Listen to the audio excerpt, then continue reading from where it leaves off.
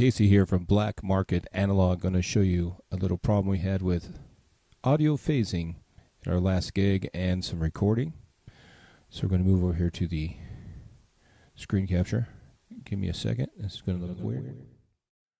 There we go. Uh, right here, you can see these two tracks. When we ripped them from the Who song, you can see they're left and right. If you expand them, ah, they look like normal tracks.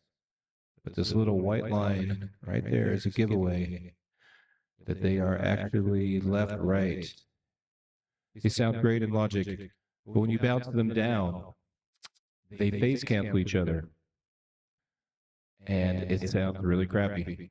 Sounds like uh, just uh, some reverb. So you gotta make sure your mono's on. They were off. Or you can earn invert the phase maybe, but mono on works the best. Do that on the other track. Right here, once again, you could have inverted the phase and then they would have been equal, but this is way easier. Also, I played some new guitar parts right here. Let's take a listen to them. This is me playing two different amp simulators and the second part on two other amp simulators. So here we go.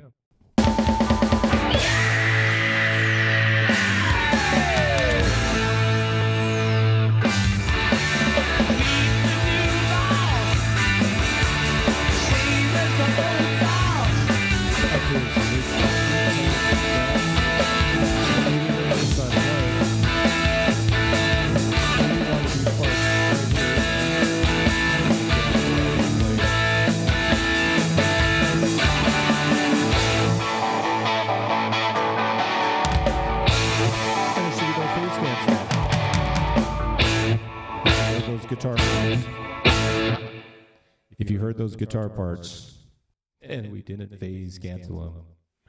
So that's it. Make sure your phase canceling is good. Have a good one. Peace, everybody.